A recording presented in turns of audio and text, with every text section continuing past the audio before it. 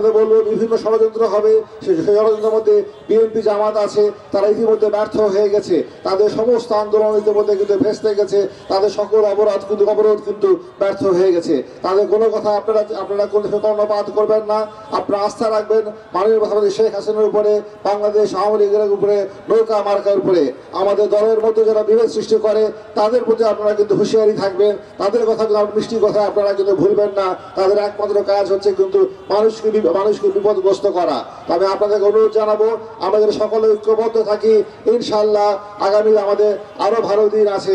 ইনশাল্লাহ বাংলাদেশ এগিয়ে যাবে। অর্থ আর্থ সামাজিক পরিস্থিতি সম্পূর্ণ আমূল পরিবর্তন ঘটেছে। যে মাথাপিছু আয় ছিল আমাদের ছয়শো মার্কিন ডলার দু হাজার নয় সালে, বর্তমানে তা কিন্তু আঠাইশশো মার্কিন ডলার। আমাদের যেটা ছিল আমাদের আমাদের সম্পূর্ণ অর্থনীতির যে পরিমাপ, যেটাকে জিডিপি বলা হয়, ষাট বিলিয়ন মার্কিন ডলার। তা বর্তমানে কিন্তু চারশো পঞ্চাশ বিলিয়ন ডলার। আপনারা দেখতে পাচ্ছেন, সারা বাংলাদেশে একের পর এক মাননীয় প্রধানমন্ত্রী শেখ হাসিনা বিভিন্ন মেগা প্রকল্প আমাদের বাস্তবায়ন করে যাচ্ছে, যার মাধ্যমে বাংলাদেশের উন্নয়ন সারা পৃথিবীর কাছে কিন্তু দৃশ্যমান কিন্তু হচ্ছে। সকল আন্তর্জাতিক বিভিন্ন মাধ্যম আমাদের সিএনএন বিবিসি সহ বিভিন্ন আমাদের আন্তর্জাতিক, আমাদের সব সংবাদ মাধ্যমে বাংলাদেশের উন্নয়নের কথা কিন্তু বলা হচ্ছে। মাননীয় শেখ হাসিনা এই বিভিন্ন প্রকল্পের মধ্যে আমাদের দক্ষিণ পশ্চিম জেলা মানুষের সবচেয়ে বড় যে দাবি ছিল, যে প্রাণের যে দাবি ছিল, সেটা তিনি পূরণ করেছেন, যে আমাদের এখানে পদ্মা সেতু তিনি নির্মাণ করে দিয়েছেন আমাদের যশোর অঞ্চলের মানুষের জন্য। আমাদের দীর্ঘদিনের দাবি, যার মাধ্যমে আগামীতে আমাদের যশোর অঞ্চলে কিন্তু মানুষের আমাদের অর্থনৈতিক অবস্থা কিন্তু আরও বেশি কিন্তু মজবুত হবে। তিনি যশোর জেলাকে অগ্রাধিকার দিয়েছেন। দু সালে তিনি ক্ষমতা নিয়ে প্রথম ডিজিটাল জেলা হিসাবে যশোর জেলাকে তিনি ঘোষণা করেছেন। যশোরে তিনি বিজ্ঞান প্রযুক্তি তৈরি করে দিয়েছেন। যশোরে তিনি মেডিকেল কলেজ তৈরি করে দিয়েছেন। যশোরে তিনি Sheikh Hasina software IT park নির্মাণ করে দিয়েছেন। অচিরেই আমাদের এখানে আরও উন্নয়নের কার্যক্রমগুলো হবে। যেমন আপনার যে দাবি, আমাদের বিশ্বাস আমাদের এখানে মাননীয় প্রধান শেখ হাসিনা অঙ্গীকার করে গেছেন অচিরে এই মেয়াদি আমাদের পাঁচশো সজ্জা হাসপাতাল নির্মিত হবে এবং আমাদের যশোর স্টেডিয়ামের আধুনিক প্রকল্পটি আমাদের বাস্তবায়ন হবে।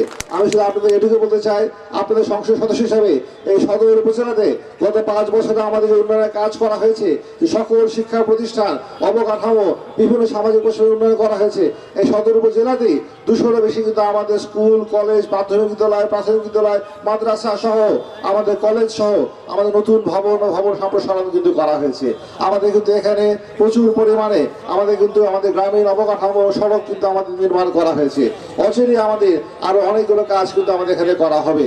তাছে আমি উন্নয়নে ফিরে দিতে চাই না, শুধু এটুকু বলতে চাই, আপনারা আজকে যে আমাদের সাথে মিলিত হয়েছেন আমি সংসদ সদস্য হিসেবে প্রথম আমার সম্বর্ধনা আপনাদের কাছ থেকে নিয়ে কিন্তু আমি নিজেকে কিন্তু অত্যন্ত গৌরবান্বিত মনে করছি। বাংলাদেশের যখন উন্নয়নের কথা বলি বাংলাদেশের উন্নয়ন কিন্তু তিনটি জিনিসের উপরে কিন্তু অত্যন্ত বেশি নির্ভরশীল। একটা হচ্ছে কিন্তু আমাদের কৃষি খাত। আমাদের কৃষি খাতের কারণে মাননীয় শেখ হাসিনার নেতৃত্বে বাংলাদেশ কিন্তু আমরা খাদ্যে স্বয়ংসম্পূর্ণ হয়েছি।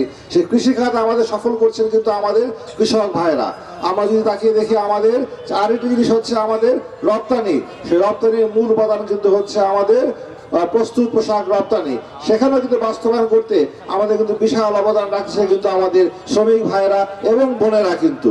সে একই সাথে যদি বলি আমরা, আমাদের যেটা বলা হয় রেমিটেন্স অর্থাৎ বৈদেশিক মুদ্রা উপার্জন, যে আমাদের বিদেশে আমাদের যে শ্রমিক ভাইয়েরা কাজ করেন, সেখান থেকে যে আমরা উপার্জন করি, সেই কাজটা কিন্তু করছেন কিন্তু আমাদের শ্রমিক ভাইয়েরা। অর্থাৎ বাংলাদেশের মূল যে আমাদের অর্থনৈতিক পিলারগুলো, সেগুলো কিন্তু হচ্ছে আমাদের কৃষক ও শ্রমিক ভাইয়েরা বোনেরা কিন্তু সেই কাজটাই তারা কিন্তু করছেন। তাদের কারণেই বাংলাদেশের কিন্তু উন্নয়ন কিন্তু হচ্ছে।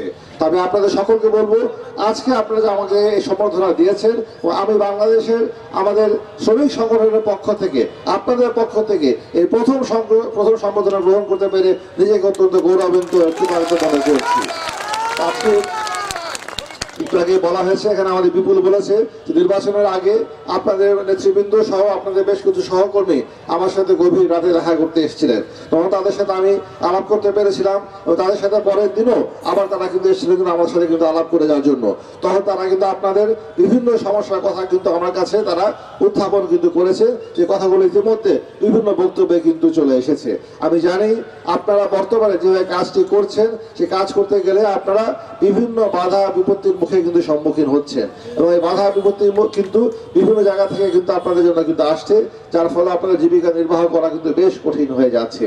তবে আপনাদেরকে শুধু এটুকুই বলতে চাই যে আমি আমাদের এখানে জেলা প্রশাসক মহোদয়, আমাদের পৌরসভা মেয়র সহ আমাদের যারা কর্তৃপক্ষ আছেন, তাদের সকলের সাথে আলাপ করে দেখব যে কি উপায়ে আমাদের এই কাজটি আপনাদেরকে করতে দেওয়ার সুযোগ করে দেওয়া যেতে পারে, যার ফলে আমরা নিয়মও রক্ষা করতে পারি এবং আপনাদের যে পেশা, সেটাও যেন আমরা রক্ষা করার চেষ্টা করতে পারি।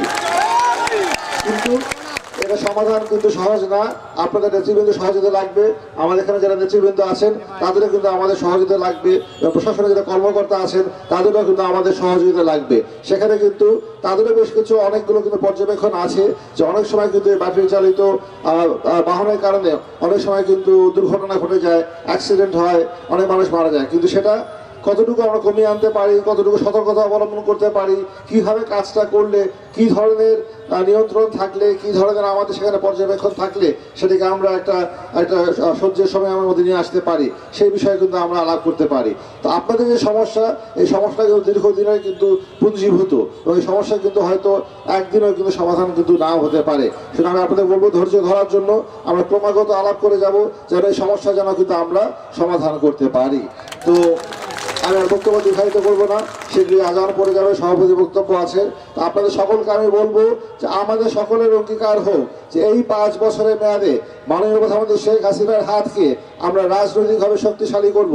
যে যেন তিনি বাংলাদেশের যা তিনি অর্থনৈতিক, সামাজিক যে তিনি একটা বিপ্লব ঘটিয়ে দিচ্ছেন, যার ফলে বাংলাদেশে খেটে খাওয়া মানুষের যে ভাগ্যের পরিবর্তন হচ্ছে, আপনাদের সন্তানেরা যে স্কুলে যেতে পারছে, আপনাদের সন্তানেরা যারা সরকারি বিভিন্ন স্বাস্থ্যসেবা তারা গ্রহণ করতে পারছে, আমাদের যারা বিধবা বিধবা বিধবা বিধবারা আছে, দুস্থরা আছে, তারা বিভিন্ন ভাতা পাচ্ছে। আমাদের শহরের টিসিবির মাধ্যমে আমাদের সুলভ মূল্যে আমাদের দ্রব্য দেওয়া হচ্ছে।